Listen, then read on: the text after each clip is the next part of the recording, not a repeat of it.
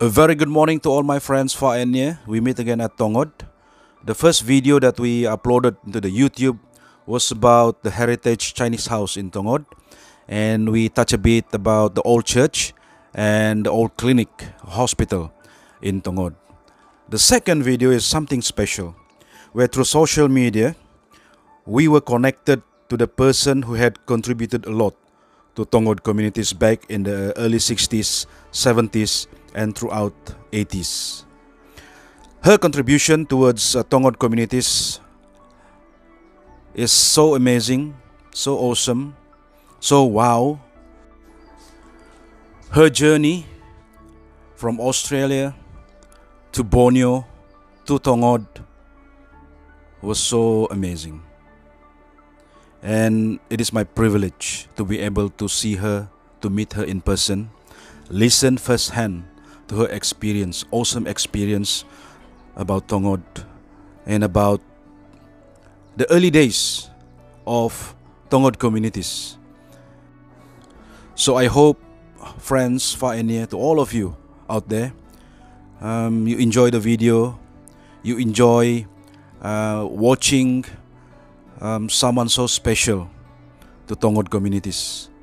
And for me, if you really put this story in your heart, it will make you cry. And with that, God bless.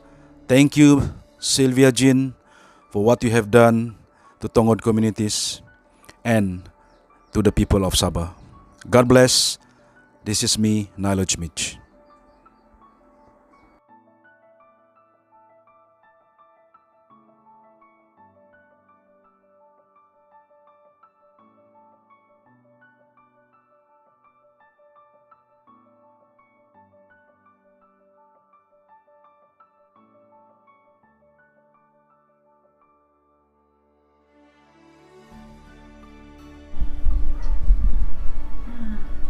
Hi, Sylvia. Oh, Say hi. hi, Julian. Yeah. Thank you for having us here. So it's um, awesome feeling for me to have the experience to meet. For me, um, It's amazing. the creation of history in Tongod. And I'm a very sentimental person, and um, I'm e- easily being touched with all this kind of story. Amazing. Yeah. So uh, probably um, you can you can share uh, with us um, the first day, early day, um, what made you uh, came to Tongod and and your journey towards uh, your life in Tongod and um, what do you think about the people and uh, the state of Sabah in particular? Wah, banyak soalan ya. Yeah. Mana boleh jawab semua dalam satu dua ayat sahaja. Yes. You, know, you cannot answer in just one or two, one or two sentences. I think I came to Tongod because I'm under the Anglican Church of Sabah, and uh, they had a primary school in Tongod that started in 1960, 1959, 1960, and I was a trained teacher, so they sent me to the most remote uh, school in the Anglican uh, area, uh, to Tongod, in the heart of Sabah. Yeah. and uh, uh, we went by boat. It took us four days from uh, Sandakan. It was a long journey. I firstly went on the residence launch as far as uh, Lamag, Mm. but uh, all by myself. I was very, very frightened and uh, burst into tears at Sukau. And uh, they had to find out what's wrong with me. I said, I don't know where I'm going to sleep, and I don't know what this man is saying to me. Uh, anyway, they eventually got me all sorted out, and I met up with the bishop the next day in Lamag, which has now become Bukit Garam. Yes. Uh, by the way, I was born in Lamag. Were you really? Yes. Amazing. because my father um, worked as a forestry. yeah. We were there for a few years in Lamag Goodness before me. we moved to Beluran. What do you know about that? It's amazing, isn't it? Yeah, Yes. continue. yes. Oh well, I remember Lamag because um, it was very muddy. Yeah. The riverbank was very muddy, and uh, we stayed in the clinic Mm. when we ever passed through there, and we had to stay overnight. And there were tons of rats all running around the ceiling. it was like a big football game was going on all night long, and the ceiling with the rats. But then it went under the floods in 1968, if I'm not wrong. And from that point, uh, it moved down to Bukit Garam.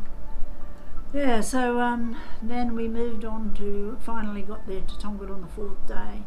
And I remember the children all being at the riverbank to meet us. It was dark already. We Mm. did the last part of the journey in the dark. And the children were all there. And uh, actually, I suppose they come to meet the bishop who travelled with us, but I felt they'd come to meet me. It was lovely. and then shown to the house where I was to live. It was a very simple house. It was made out of kulit kayu, uh, bark and sticks, and uh, nibong floor, uh, and belian roof, belian tiles roof. And all I had to sleep in was an old army stretcher. That was my bed, and no proper doors or anything because it was all made out of bark, takalis bark. I see. So when you arrived in Tongod, the the, the Chinese house was already there. Ah yes, Ah. that uh, shop house, uh, Tauki Bak Min, Ah yeah. had been there since uh, very early days. Yongsoon Company Ah. ruled all the shops on the river. Ah. Your father will remember the Yongsoon Company because they served all of the places along the rivers Sukau, Lamag, Bintasan, Kwamod, Karaskaris, Tagulab, Kawarak, Kwamod, uh, Karamwag, and then uh, and then Pinanga. And Pinanga. So that was the Yongsoon Company, Mm. and uh, the shop in Tongod was part of the Yongsoon Company that had all the shops but it was under Tauki Bakmin, and he'd been there since before the mission came. The mission came in 1957. Was the first uh, person to live there. Uh, but before that, the clinic was there. Mm. The clinic was run by the government on an intermittent uh, timetable. So occasionally, government officers came up to staff the clinic, but not very often. I see. So when our Anglican priest from uh, Sandakan went in to investigate in 1956, Mhm. Uh, the Ketua Kampung asked him to, to start uh, to provide more regular service for the clinic because the, all the diseases there at the time was TB and yaws Oh, and okay. Yes. really terrible, a lot of deaths, and uh, and also to start a school because there had been no school. So that's what that's how they started. January 1958 is the starting date of everything. That's what's considered starting date. They actually had a man from Sarawak, and it was started by five Iban men from Sarawak. Ah. So it was different. It wasn't a European mission coming. It was Iban mission, which what made it different. And uh, Arno Punta, Lawrence Lowin, uh, Joseph Maja, uh, and two others came up. Five of them. Mm. Yeah. Was it difficult to when you first came there? Was it difficult to uh, get along with the locals? Not at all. No. They're very friendly. Ah, yes. Of course, they regarded us differently. Yeah. They looked upon us as somebody who came from Mars. I think they never knew what to do with me uh, until my father died in 1985. My father died. After that, they started talking about bringing my mother over, sharing a piece of land with her, and letting her make a farm there. I said my mother anything about making and uh, but it was that point they started integrating us into the tribe because before that I mean children little little babies used to just cry and run into their father's arms when they saw me something so strange you know. orang putih dia punya kulit tak ada warna and also dia punya dagu yang panjang sekali hidung yang panjang Or maybe they say, siapa ini perempuan cantik? Yeah. They only saw my long chin, my long nose. I remember one of the priests who's there in Penanga now, he used to call me Long Nose. Okay. That was my nickname, Long Nose. How about the church around there? uh, it just started. Uh, 1962, I think, was the first baptism. Mm. Uh, Arno Puntang mainly was the one who used to go around the I see. and uh, talk to the people about um, the Christian message, and um, uh, and those who believed, their lives were changed tremendously. Yeah. Life was ruled by uh, drunkenness before that. Ramaiti. Sorry, you know Ramaiti? my dear. Ramaiti. Ramaiti is like Oh. Dusun language. Let's let's drink. Cheers. Let's drink. Yes, yeah, something yes, like yes, That's right. I knew I'd sort of heard it before, I couldn't remember what it meant. Yeah. So when you when when the group first came to Tongod, how many of all of you um, came to Tongod? Uh, well, we, we, you mean the missionary group? the no, we didn't come in uh, like that. We came one by one. Ah. The first one uh, to come were the Ibans. The Ibans were the missionaries. Yeah, they weren't European missionaries. They were Iban missionaries, five of them. Uh, Andrew Kiri was the first one to resident there, and then Arnold Puntang.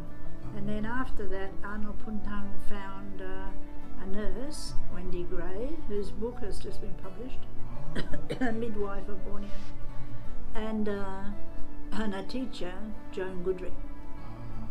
And then after that, other missionaries came, but came one by one. You mentioned um, the first car to arrive in Tongod. Uh, what year was that? 5th of June 1979. Oh, I remember a significant date. What car was that? Land Rover? I don't remember what sort of car it What? but I just remember people gathering around and looking at this strange vehicle that like came from outer space. you know. And I remember when the road was being bulldozed in there, people would stand up on the, uh, and they'd never seen such big building, big equipment in their life, and they would just stand on the sides of the roads going, wow, you know, amazing. And that road, that bulldozer then bulldozed the roads, came through. There was no such context before that. Yeah. Um, when you were in Tongod those days, that point of time, did you actually miss home? Sometimes, yes, because it sometimes took six weeks, six months Mhm. to receive a letter, and we had no phones. I mean, telephones like that certainly didn't exist, and the old-fashioned phone. All we had was a radio telephone. Know, we just had my uh, president of Roadville of Hope here, and uh, I was just telling him about how we used to contact. Uh, the, for example, the education department. I was the principal of the school there Mm-hmm. and we had to contact outside uh, on the radio every now and again and try and get the message across when it was so much interference you know we had the timber camps all contesting because they all wanted um, parts for their vehicles or other things and um, and they would um, you know you'd have to get on the line with the radio and Mm. try and send uh, figures for the children in school was really quite something. But of course, whenever you had an emergency, a medical emergency, Yeah. you needed the radio. But that's all we had in those days. We had no other, no TV, no phones, nothing. Yeah. So, so when you first introduced um, English lesson in in Tongod, um, how was this uh, perception? I mean, how those people, the young children, receive uh, those um, English lesson in, in well, it was just expected you spoke English when you went to school. yeah. because we were an English medium school until 1971 Mhm. when the Education Act uh, was im- imposed in Sabah and we had to switch to Malay and I had to do an exam to show I was going to be able to teach in Malay and if you didn't pass the Form 3 level at uh, with Kapujian with credit you couldn't teach in the primary school Ah. so I had a friend from England, and uh, she couldn't manage the Malay, so she left at the end of 1974 Ah. when her classes ran out. But I was I passed the exam with the Kapujian. Don't know how I did it, uh, but God wanted me to stay, so He enabled me to get the Kapujian, and I was able to stay on and teach Malay in the school. Ah. So English was just expected that all the children spoke English and spoke to their teachers in English. And they, we had a boarding house, so the children spoke English quite well actually. Ah, But sometimes they got things mixed up. Like uh, they'd come and say to you, "Oh, I wonder." Uh, when the parents would come to visit, they we had what was called Tamil houses, and you took the you went and slept in the Tamil house, and you took the children out of the boarding house. And to sleep in the Tamil house, so the children had to come and get permission. They'd say, "I want to go and sleep in my mother." I say, oh, "You haven't slept in your mother for a long time." you want to sleep with your mother? Yes, with my mother. In my mother. You sleep in my mother. Preposition's quite hard in English. eh? so they always get their prepositions mixed up. But anyway, did you ever say that? I want to sleep in my mother. But did you, you live in the boarding house? No, no. Not all So the the Yes. only those days before uh, even um, the road, um, I mean, um, being built to reach Tongod, the main transportation was by Boat. river. No, in the river. Mm, So in order to go to like Sandakan and other places, all by river. river. Mm. But there, of course, there will be no traffic jam usually. Never jam. I never jam. but it was a long journey like, uh, and dangerous. and yes, Dangerous. with the crocodiles. Yes, although I never thought about crocodiles in those days. One time our boat sank down at Tidog, which is Oh. below um, uh, below Balat, Balat Tidog, Mm. and then uh, Bukit Garam after that. So it'd be upstream from where you Mm. lived, uh, Bukit Garam, Alamang. And uh, I remember a big launch came up, and it was going too fast. Mm. So the waves went right over the top of our little Jongkong. We were in a Jongkong. And I remember uh, lying on the floor of the boat, just having an afternoon nap. And my, my students, I was taking nine students to secondary school, and my students called me Miss Jeanes. They used to call me Miss Jeanes in oh, those days, following my surname, Miss Jeanes. I looked up and there was this big wall of water coming down on top of me. Oh, I just grabbed my bag and and then got out of the boat and everybody and I saw the man in front, Lamansing. He was holding onto something going under the water. So, Lamansing, what are you doing? I'm trying to save the engine. We were taking an engine down repair. Let it go, let it go. So somewhere on the base of the river near Tidog there is an engine, uh, a Johnson 20 horsepower engine. And uh, then I yelled at the launch had passed by. and said, "Come back, get us!" So sort of pushed me under the bum, going up into the boat. You know, I said, "Gee, it's so rude, this man, getting me up out of the river, you know, onto the launch." And uh, then I asked them to please send us down to um, to Bukit Garam as we were going to be met there. The road had come through already to Bukit Garam. Mm. So once we got the road to Bukit Garam, we could join the road at Bukit Garam and go through. But before that, we had to go all the way to Sandakan in the boat. Yeah, So- call it. Uh,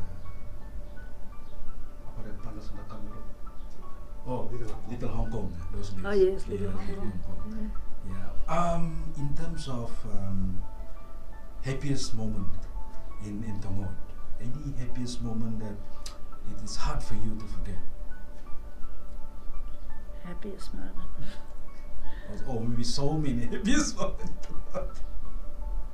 I think there was a sense of um, it was a surreal existence. Really, we were away from our own people.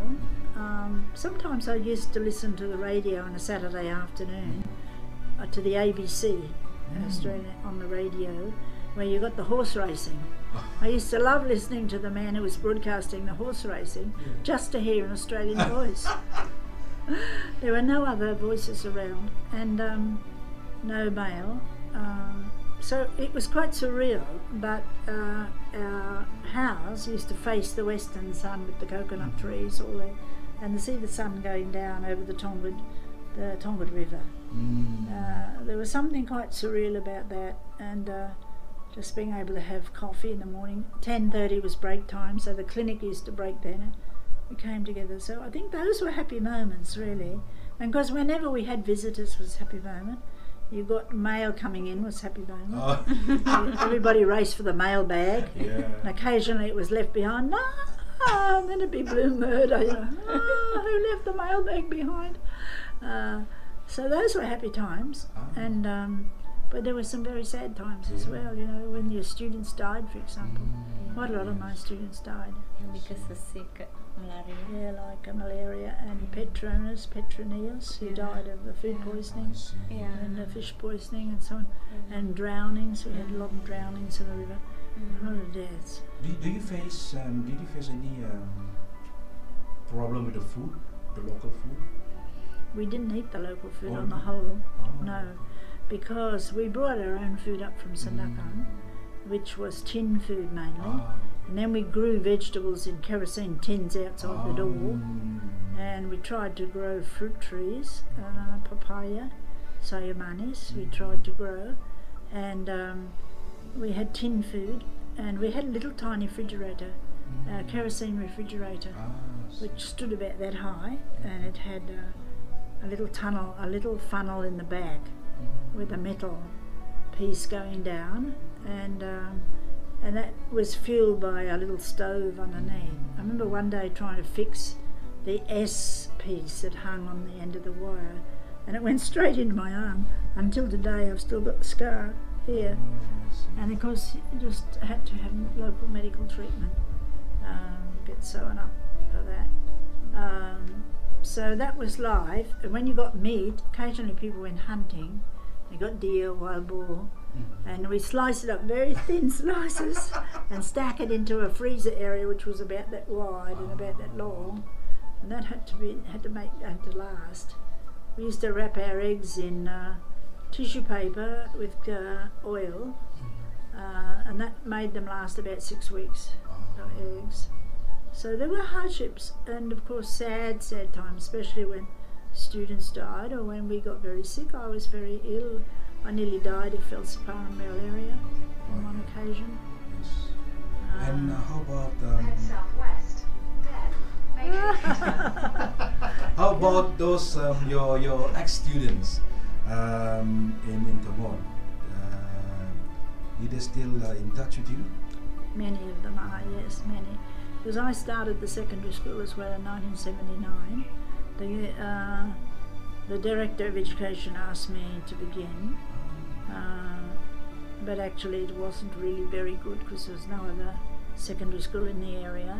So our students were sent down to Bukit Garam to secondary school, but then they were told you can't go to school here, you have to go to school in Tongod. So they used to gather around my primary six classroom and begged me to take them back into primary six. Okay. I said, You can't come back into primary six.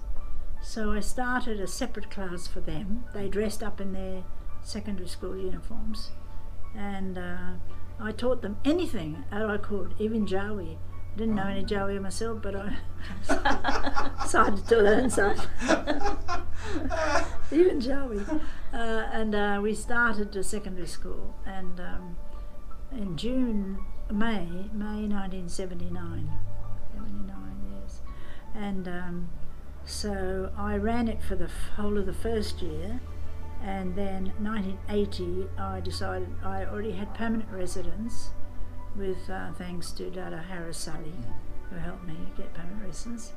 And then I, I left the school to concentrate on the work in the church because I was appointed by our bishop to take charge of the church at that point. So I had 20 local churches I had to look after. In in. In, uh, no, no, just in Kinabatangan. Wow. Kinabatangan alone. We had 20 local churches and I had to look after all those churches because we had very few priests in those Yes. days. Most of the priests had been expelled Mm. during Tun Mustafa's Yes. time and we had very few. So Lawrence Lowin was uh, had the duty of going all the way up the Labuk River and all the way up the Kinabatangan River to bring a holy quote something. But of course, whenever you had an emergency, a medical emergency, you needed the radio. But that's all we had in those days. We had no other, no TV, no phones, nothing. Yeah. So, so when you first introduced um, English lesson in in Tongod, um, how was this uh, perception? I mean, how those people, the young children, receive uh, those um, English lesson in, in well, it was just expected you spoke English when you went to school. yeah. because we were an English medium school until 1971 when Mhm. the Education Act uh, was Im- imposed in Mhm. Sabah and we had to switch to Malay and I had to do an exam to show I was going to be able to teach in Malay and if you didn't pass the Form 3 level at uh, with Kapujian credit you couldn't teach in the primary school Ah. so I had a friend from England, and uh, she couldn't manage the Malay, so she left at the end of 1974 Ah. when her classes ran out. But I was I passed the exam with the Kapujian. Don't know how I did it, uh, but God wanted me to stay, so He enabled me to get the Kapujian. and I was able to stay on and teach Malay in the school. So English was just expected that all the children spoke English and spoke to their teachers in English. And they, we had a boarding house, so the children spoke English quite well actually. Ah, But sometimes they got things mixed up. Like uh, they'd come and say to you, "Oh, I wonder." Uh, when the parents would come to visit, they we had what was called Tamil houses, and you took the you went and slept in the Tamil house, and you took the children out of the boarding house. And to sleep in the Tamil house, so the children had to come and get permission. They'd say, "I want to go and sleep in my mother." I said, oh, "You haven't slept in your mother for a long time." You want to sleep with your mother? Yes, with my mother. In my mother. Want to sleep in my mother. Preposition's quite hard in English. eh? so they always get their prepositions mixed up. But anyway, did you ever say that? I want to sleep in my mother. But did you, you live in the boarding house? No, no. Not all So of the. Yes. only those days before uh, even um, the road, um, I mean, um, being built to reach Tongod, the main transportation was by Boat. river. No, river. river. Mm, So in order to go to like Sandakan in other places, all by river. river. Mm. But there, of course, there will be no traffic jam usually. Never jam. I never jammed, but it was a long journey Like, uh, and dangerous. yes, Dangerous. With the crocodiles. Yes, although I never thought about crocodiles in those days. One time our boat sank down at Tidog, which is Oh. below um, uh, below Balat, Balat Tidog, and then uh, Bukit after that. So it'd be upstream from where you Mm. lived, uh, Bukit Garam, Alamak. And uh, I remember a big launch came up, and he was going too fast. Mm. So the waves went right over the top of our little Jongkong. We were in a Jongkong. And I remember uh, lying on the floor of the boat, just having an afternoon nap. And my, my students, I was taking nine students to secondary school, and my students called me Miss Jeanes. They used to call me Miss Jeanes in those days, following my surname, Miss Jeanes. I looked up and there was this big wall of water coming down on top of me. Ah, I just grabbed my bag and and then got out of the boat and everybody and I saw the man in front, Lamansing. He was holding on to something going under the water. So, Lamansing, what are you doing? I'm trying to save the engine. We were taking an engine down for repair. Let it go, let it go. So somewhere on the base of the river near Tidog there is an engine, uh, a Johnson 20 horsepower engine. And uh, then I yelled at the launch had passed by. I said, "Come back, get us!" So sort of pushed me under the bum, going up into the boat. You know, so gee, it's so rude, this man, getting me up out of the river, you know, onto the launch. And uh, then I asked them to please send us down to um, to Bukit Garam as we were going to be met there. The road had come through already to Bukit Garam. Mm. So once we got the road to Bukit Garam, we could join the road at Bukit Garam and go through. But before that, we had to go all the way to Sandakan in the boat. So- days they call it. Uh, apa that Plaza Sandakan itu? Oh, Little Hong Kong. eh, Those days. Oh, yes, Little Yeah, Hong Kong. Yeah. Um, in terms of um, happiest moment in in Tongod, any happiest moment that it is hard for you to forget, Happiest moment. or, or maybe so many moments. I think there was a sense of um, it was a surreal existence. Really, we were away from our own people. Um, sometimes I used to listen to the radio on a Saturday afternoon, and uh, so I'm right on the top of that list. And so everybody who's part of that chat group uh, chats with me every now and again. So I would say I'm close to them in that sense, but I wish I was closer. I wish I could know their families. I wish I could visit their families. And they don't visit me either. You'd understand why, because if you're coming from Tongod to KK, Mm. usually in a hurry to go home. Yeah. So you don't take a couple of hours to stop off and visit here, because that would make you a couple of hours later home. So they tend to go straight through, they don't tend to stop. But I was trying to persuade them to stop. But anyway, I've got Rostina here. She's a Tongod lady, Yeah. and that uh, keeps me close, and uh, that's good. Yeah. And um, probably before um, we end the short video, probably you have a message to all your friends back home, uh, all your ex-students, and probably um, anyone that have known you for years. Any, any, any message for them when they see this video? Yeah. I would hope they would grow up in the things they've been taught. The to live a life of honesty and justice and integrity, to do their job well, to to believe in the God they've been taught to believe in, and uh, to live their life nobly with their families and rightly. I think that's uh, briefly all I can say in a public video. yeah. Well, for me, um, um, it's a privilege to actually be able to see you from a simple video of um, uh, Chinese house in Tongod lead to this awesome and amazing discovery. The dream of um, making it a reality to meet up with the um, so-called Ibu Surya that I've been uh, was in Tongod for so many years and still here in Sabah. Um, thank you very much and God bless.